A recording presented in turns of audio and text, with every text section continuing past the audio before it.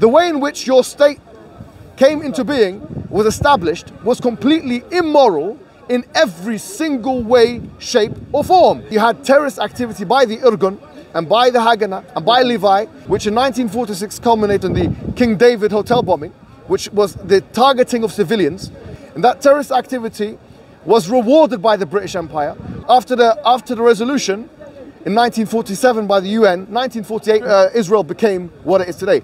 The only thing you guys really have to say about that is that well, we have a, we were there in 70 AD. There was a siege of Jerusalem, very well known. Now we talk about ancient history. The fact that the Romans were here, okay, there was the Gal- uh, what's it called the Gallic Wars, or whatever, in uh, before Christ. So some Ital- Italian guy comes and says, "We're Roman. We have rights to Britain." This is the ridiculous nature of the claim. No one makes these. You have to understand, guys. No one makes these claims except for Zionists. Understand that. I tell you something. Under the Ottoman Empire, Jewish people and you know this.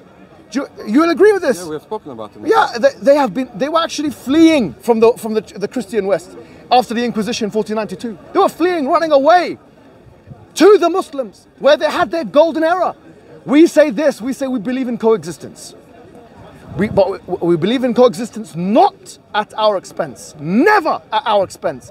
Coexistence doesn't mean you come into my house and say that if I don't steal it, someone else is going to steal it. What we're seeing with Yaqub, this Jacob, this pathetic, that fat slob. Jacob, you know this is not your house. Yes, but if I go, you don't go back. So what's the problem? Why are you yelling at me? I didn't do this. I didn't do this. But you, It's you, easy to yell at me, but I didn't do this. you are stealing my house. And if I don't steal it, someone else is going to steal it. I'm just going to answer a few of your points. The British, the colonials, freed the state of Israel before they even controlled the area. Yes. Already was interested in splitting two people apart. Yes. That's number one. So the colonialists who had this vision of breaking two peoples, a bond that we've had for thousands of years, were the colonials British. That's fact number one. Fact number two is, when we talk about the colonial Brits, occupied the, the area of Palestine at those times, which people kicked the colonists out were the terrorist Jewish organizations. That's the, that's the fact. As you mentioned before, these three organizations kicked the colonialist British out of the area that is called Palestine What you mean to say is that they committed terrorist attacks. against a colonialist power. No, no, no. They killed civilians. All right. So let's be honest. 1940. I'm not justifying it. Good, good. In no, No- way at all. I'm just Right, stating the fact of who Yeah, kicked yeah. the colonialists out. No, Menachem Begin, who was part of the Irgun, okay? He became the prime minister of the country, okay, from 1977 to 1981. And he was one of the perpetrators of the bombing on civilians in a hotel.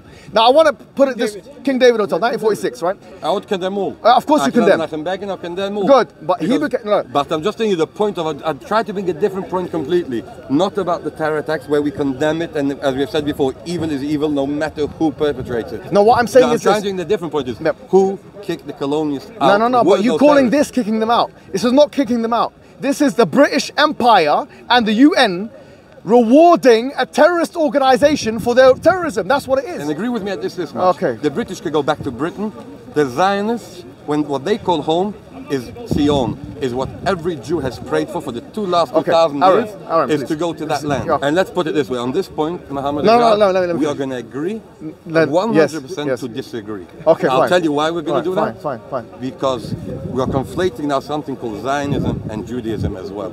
And How? Judaism, I can't agree that you should ever be able to touch for a simple reason. The hope for Zion, not just I pray for it every day, I pray for it in a peaceful way, in an utopia where we'll be able to live together and the temple will be built where it was built before.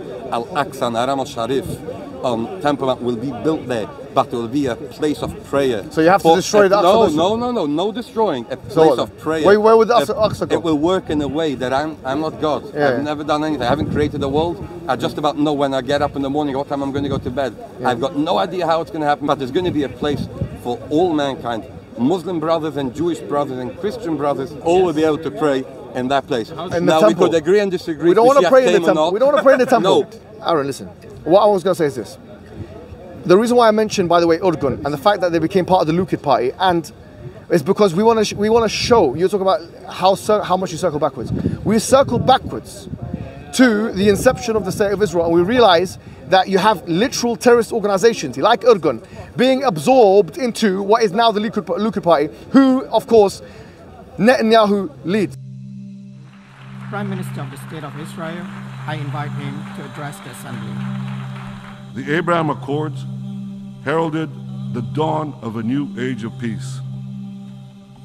But I believe that we are at the cusp of an even more dramatic breakthrough an historic peace between Israel and Saudi Arabia.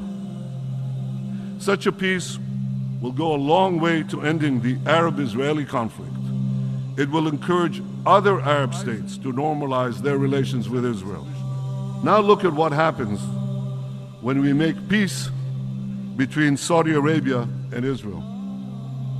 The whole Middle East changes. We tear down the walls of enmity.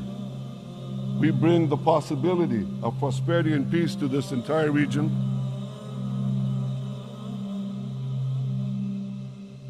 وإذا قيل لهم لا تفسدوا في الأرض قالوا وما نحن مصلحون. ألا إنهم هم المفسدون ولكن لا يشعرون.